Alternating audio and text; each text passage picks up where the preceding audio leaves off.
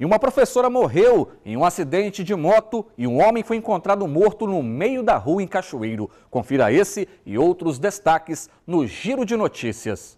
Um homem de 29 anos foi encontrado morto na madrugada desta quarta-feira no bairro Ibitiquara, em Cachoeiro de Itapemirim. De acordo com a Polícia Militar, o corpo de Marlon Lírio Queiroz foi encontrado às 4h55, próximo ao tiro de guerra. A perícia da Polícia Civil foi acionada e não constatou sinais de violência na vítima.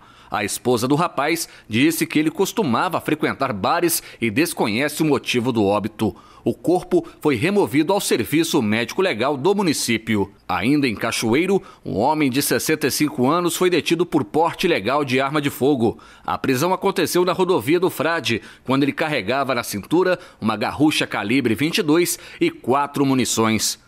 Contra ele também havia um mandado de prisão em aberto. O detido foi levado à sétima delegacia regional do município. Já em Piúma, a professora Flávia Ferreira Pereatro, de 43 anos, morreu em um acidente motociclístico na Avenida Beira Rio. Segundo populares, havia pedaços de fios usados em cabos de internet na pista, quando a moto em que Flávia conduzia passou por cima deles e se enrolaram no pneu, fazendo com que a professora perdesse o equilíbrio e caísse. Na queda, ela foi atingida por um veículo que seguia no sentido contrário. Uma equipe de resgate foi acionada para prestar os primeiros socorros, mas a professora não resistiu aos ferimentos e morreu antes de chegar ao hospital. Flávia deixa uma filha de 14 anos.